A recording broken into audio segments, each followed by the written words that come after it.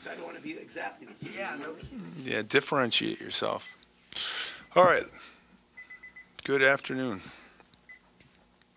Uh, Minnesota series. My thoughts are much the same as what I shared with you guys after the game on Saturday night. Um, disappointed we couldn't find a way to get points out of that series. I thought uh, we, we played a, a better overall game on Saturday than we did Friday. Uh, Friday, I thought we were we were in it, but I thought Ed really made a lot of big saves to keep us in it. And uh, Saturday, I, I thought we couldn't we, we we didn't make key plays at times that we needed to, and that was the difference. They did, and uh, and the game swung their way. So uh, they're a good team. We knew that. They were pretty much what we expected, and. Uh, like I said, I'm disappointed we didn't get points out of that series, especially at home. So we don't get an opportunity to see them till the end of the, the season at this stage. Northeastern is a uh, team far better than their record would indicate. You, you look at their record and you're thinking, um, but I, but I I, th- I think they have uh, they have skill on their team. They they can play with good pace. Um, you know, last year it was this time of year that from a record standpoint, they were really struggling. They beat us two to one, and they went on a run and had a great second half. And I think their team's better than than it was at that time last year. So uh, for us, you know, it's a, it's an important game.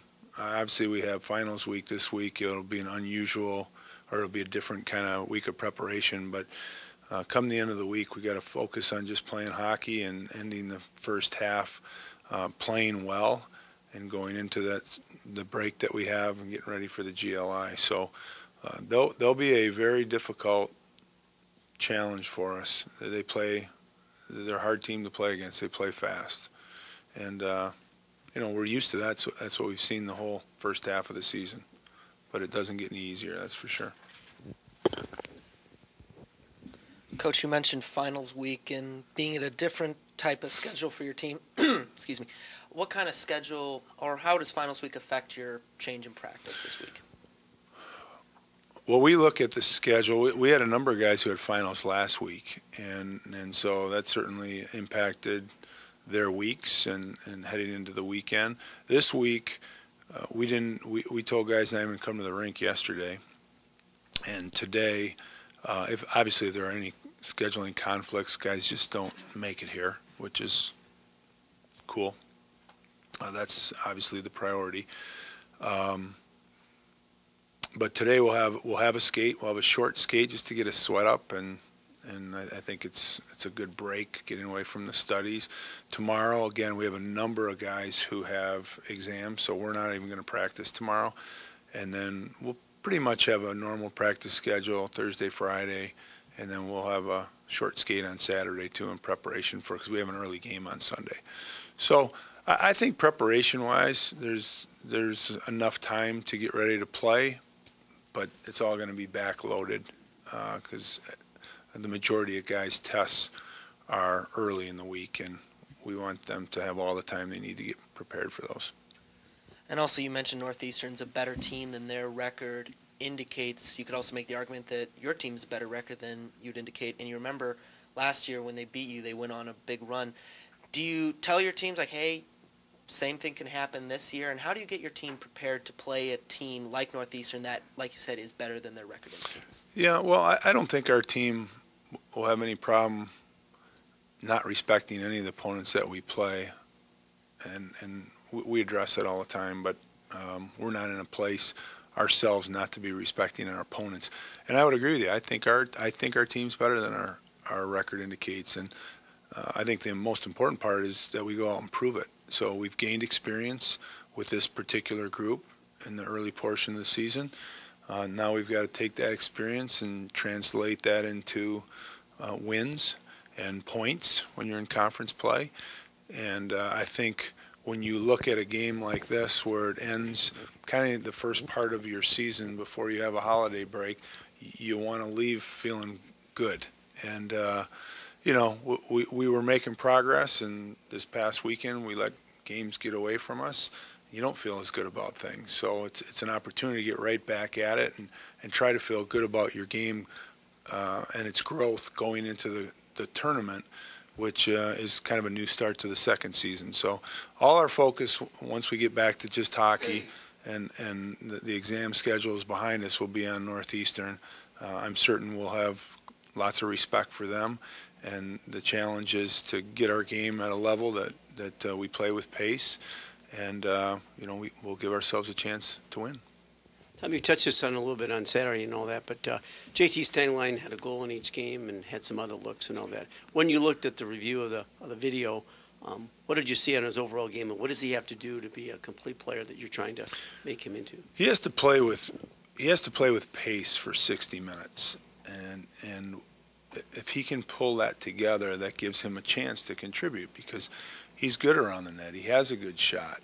Um, but where he runs into challenges is is getting places, and and uh, and it's not that he's not capable. It's it's more of a mindset to uh, you know not wait for things to happen to go help make things happen. And when he's doing that, even even in the cases where he may make a mistake, much like anybody, you oftentimes can overcome those mistakes when when you're playing with pace and playing with focus and playing with intensity. And so I, I thought he probably did that more consistently this weekend than he has done up until this point this season. He got rewarded a little bit from a goal perspective, you know. Um, so he, he created a number of transition two on ones, um, one of which he scored off of. And, um, you know, hopefully he got rewarded because he hit the net. He shot the puck, he hit the net, and that rewarded him, and we need more of that. Uh, and the second goal he got, he went to the net.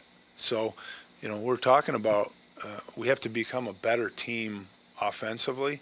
He can help contribute if he does those things that we're talking about. If you just focus on your point productivity, then then that's the wrong focus. You, you, you don't you don't focus on the work that goes into getting those types of results.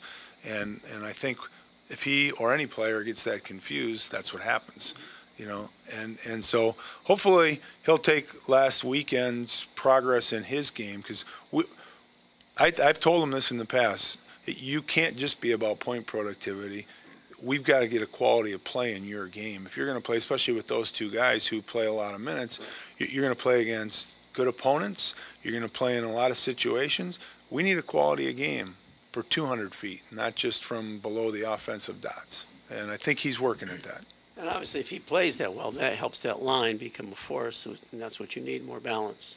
Helps the line, um, helps our team, provides balance, uh, hopefully provides additional scoring productivity. You know, that line had uh, a few goals on the weekend, which is that is positive. And again, we, we've got to find a way to step up our offensive productivity, not just in goal output, but even in, in creating more meaningful scoring chance and yeah so so you you will get that end result. Same thing. I don't want to focus just on the goals. I want to focus into what gives you the opportunity for goals and then ultimately you think you'll get those. So we need to do that as a team. Coach you've uh, been moving your if i may call it your uh, your underclassmen line up to the top line, Appleton, Khodorenko, and Hirose. How have those guys been handling getting top minutes and being the top tier offensive unit for you? Well, I think they, they've handled. I think they've handled the season well to date. Um, you know, I'm not so sure how much time is spent on really looking at the depth chart from that perspective when you're playing teams. Um, so far, we've had more success when we're not necessarily matching up line for line. Um, and we've had the most success when we're when we're playing four lines if we can get four lines playing well. And for those guys i think they've kind of you know gotten their feet under themselves a little bit. They're developing some chemistry and understanding how to play off one another. Um, certainly as time goes on uh, other teams may target certain lines theirs being one of them when they play against us. So that forces you to create a higher level of performance because you know you're you're being checked or you're being focused on and you're playing against top lines on other teams. So I, I think they're growing. I, I, think they're growing. I think their confidence is growing, and I, I like how their chemistry is growing. Coach, um, Mason Appleton currently leading points, goals, and assists, and then Ed Minney has four games of over 30 saves. How important has their play been at this time right now, kind of just getting up to that level? Real important for us. Uh, you know, one of the things that we talk about across the board is developing your game and then developing a consistency in your game. And that starts in practice. And from a coaching perspective, that's where you build trust. When you see somebody do something day in and day out, and everybody's going to have their moments and bad days, but that trust builds when you see a level of consistency. And that's what gets people in the lineup. That's get, what, what gets them more playing time. Um, that's what gets them um, maybe with certain partners or line combinations. But developing a level of consistency, and I think both of the players that you mentioned have been doing that. You know, Mason. Mason started last year. I thought he had a real good freshman year. I think this time last year he hit the wall maybe a little bit. We might have played him a little too much. He had a very productive off season, and I think his game has been very, very consistent for the most part this season so far, and keeps rising. I think you could say the same for Ed. Uh, he's finding a level of consistency. He's never played this much since he's been here, so that's part of his process to learn how to handle that and to perform on a consistent basis, which he's done pretty much for the past four consecutive games. Okay, and then to Northeastern, both teams coming off a loss, and Northeastern's also uh, winless on the road this season. What are the keys to victory heading into Sunday? Well, we have to play at a high pace. We have to generate more offensive scoring chances for our team. I'm not even going to talk about their team. Um, last year, last year against their team, they, they were able to have good zone possession time in our in our defensive zone that that, that presented challenges for us. Uh, so we'll have to do a better job defending against them, even though it didn't result in lots of goals. Uh, two-one loss. Uh, it it did it it did make us chase the puck a lot, and so we have to we have to be better. We have to we have to be able to manage the puck better possess the puck better and create more pressure, whether it's coming up the ice on our rushes in transition or an offensive zone play against Northeastern. They played a real good schedule. They played real good teams. Um, you know, they beat Minnesota recently. They played Boston College a couple uh, close games. They've played Notre Dame a couple times. So they, they've played a really tough schedule so far. So, like I said, I, I really respect their team and think a lot of them. My understanding it's the first time they've been here since I played, huh? Wow. That's a long time ago. I think we had a brawl with their team, didn't we, back then? That's old time hockey. Their, co- their coach was, yeah, he was on the ice. That's right. That's right. Tom, there was, what, 45 shots on Friday, close to 80 over the weekend he faced. I'm sure you'd agree that's a, a few more than you'd like. What do you do to power that down? And then also back to Ed when he's there able to stop 40 and 30 and 30 like he's done over the last few weeks, what does that do for a guy's confidence, especially when he's new and uh, it looks like he's emerged uh, out of this goalie battle? Yeah, uh, his confidence should be on the rise. I thought he played very consistently. I did think that that turnover that he made, costing the goal uh, on Friday night, I, I thought there was some good that came out of it. I thought you know, he, he responded, he rebounded, he parked that away, um, and he didn't really show in, in, in his play that that uh, got him down or frustrated him. So I thought that was real positive, although you'd love to have that turnover back. Um, and from a team's perspective, you know, we, we just don't want to give up that many uh, opportunities, and I didn't think we played uh, well enough. I thought we were chasing the puck the whole night Friday night. I just didn't think that uh, we were a step late getting places, um, and that's in every zone, including the defensive zone. Uh, and then we gave them what five power play chances, and they're a team that shoots the puck a lot off the power play. So um, when you give up five opportunities to that team, especially if the puck doesn't go in the net and you're going a full two minutes, they generate a lot of scoring chances, a lot, a lot of quality scoring chances, and shots uh, and attempts off the power play, and we gave up a lot on Friday night. Looking back at Ed's first start again, I know it was, maybe it's an anomaly him giving up those six to Lake Superior, but uh, as the upperclassman guy, has he done everything that you'd like to see from an upperclassman to to seize it and, and come out as the guy in that. Very, very much so. I, I, I, uh, I would say that, uh, yeah, with the exception of that first, first series, and I'm, I'm not singling him out. I'm talking about our whole team. Uh, I, I think his game has really been on the rise. His confidence level has been on the rise. I think what's also important is that his teammates' confidence in him has been on the rise, as has his coach's confidence in him has been on the rise. So, again, we, we watch really closely every day in practice. So, what you've done in the past doesn't matter that much today. Today's a new day. But that body of work goes a long way to building that trust and confidence. And in that po- position where you're playing 60 minutes, that's, that's really important to, to, to gain that trust and confidence. And so, uh, you know, again, this, this particular weekend, you'd like to get him some wins because that also builds confidence and it builds the team's confidence. But I thought his quality of play was was darn good. And one of the keys you ask your goaltender to do is give you a chance to win, and I think he did that both nights.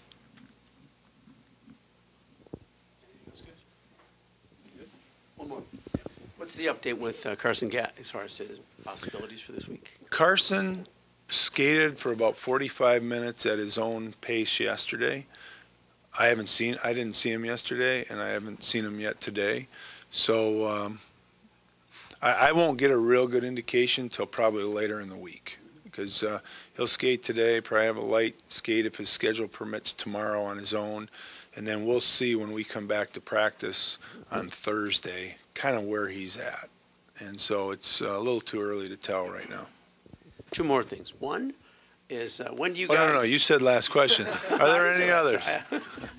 when you uh, when does the team come back for Christmas? Come back on the 26th. Twenty six. Yeah, we'll- we'll, uh, Day. Yeah, not Christmas Day this year. We, we have a shorter break than normal, and and uh, the, the way it works out, we'll have a, about the same amount of uh, preparation time. So we're going to practice on the evening of the 26th, uh, twice on the 27th, and the morning of the 28th, and then we'll head to Detroit and then play the 29th and 30th. Okay, this is the last question. What's your favorite Christmas carol? Promise. Uh, my favorite Christmas carol. Wow. I shouldn't have given you another question. my favorite. I thought you would be like snap. I would. I would. I Get would. this easy. Christmas carol. Like, what do you consider a Christmas carol? Like, A song that's about Christmas. oh, any kind of song. Yeah. I, I like uh, Bruce Springsteen's uh, um, "Santa Claus is Coming to Town." That's one. And then tied with that is uh, Elvis's version of um, "Blue Blue Christmas." Really? Mm-hmm. That's just a sad song. I don't even know what the lyrics say, but I, Well, it's how Blue Christmas without you, meaning they're not there or they've. Ah, I like the tune. you asked me my opinion. Now you're going to debate my I'm just my like- answers. It's, it's unusual because one's bubbly and one is like, you know. Yeah. Well, now that brings up Oh a question. gosh, here we go. This will probably be the last one. What's your favorite Christmas movie? Favorite Christmas movie? Probably Christmas Vacation, I would say. What other Christmas movies are there? My, my, my, my wife has the Hallmark Christmas movies, and they, they're, they're all consecutive. Both ones. Die Hard. Yes, Die Hard is technically considered. You know what? I, actually, you know what? It wouldn't be Christmas Vacation. I like Home Alone. There you go. Yeah, I, I would say that's that's one. I like I like both Home Alones, one and two, and I, and I do like uh, Christmas Vacation. For a Christmas story. Christmas Story is a good one too. Bob Miracle and Pretty- Yeah, that's a, that's a good one too. And let me ask you guys a question. What is my favorite uh, Christmas movie? Who's a smart guy in your team, Tom? Who do you not worry about with exams? I don't worry about any of the guys. No, we, we, we have a, we have a darn good uh, a darn good group in that regard. Real diligent, focused. Um, yeah, this, this is this has probably been as low maintenance of a academic group, and, and I haven't had high maintenance at all since I've been here. But th- this group is, is has been very good up to now. We'll, we'll see how they perform when the grades come out, but up, you know, week by week, uh, they've been very consistent. Yeah, so I think it's a good group. I, I don't know that I would have made the team based on the academic standing of, of the group that we have. I don't know yet if we have. We have in the past. I'm not sure if we will on this group yet. Too early to tell. Anything else? All right. Don't forget the radio show tonight, guys. Connor Gatt's major like constitutional law. Carson? He called him Connor.